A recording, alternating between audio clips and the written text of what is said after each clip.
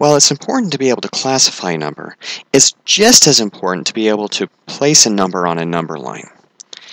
So a real number line looks like this, and it extends to as far this way as it can go and as far this way as it can go.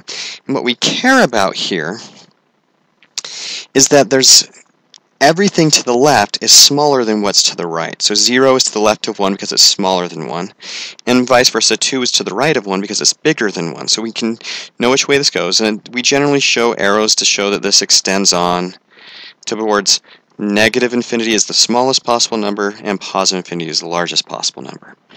And so what we're going to do right now is place some numbers on here. So we're going to start with negative 3. We're going to take that negative 3, and we're going to put a dot at negative 3, and this says, hey, I have a point at negative 3.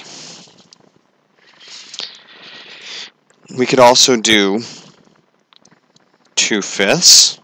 Well, 2 fifths is less than 1. In fact, if we were to break this up into 1, 2, 3, 4, 5 even pieces, 2 fifths would be right there. So there's our 2 fifths, just like there's our negative 3. Well, sometimes we get numbers that are in radical form, like the square root of 5. And so if we bring up a calculator, for reasons that I'll get into later, we can do 5 to the 1 half power. That's how we take a square root on this particular computer embedded 1. And that's 2.236. So that's approximately 2.236. Remember, it keeps going never stopping, never repeating. So 2.236 is a little bit less than a fourth, so if we cut this into four pieces, it's about right there. And so that's about where our square root of 5 is.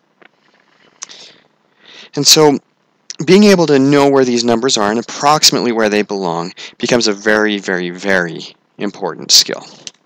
So make sure you're able to place these numbers on the number line.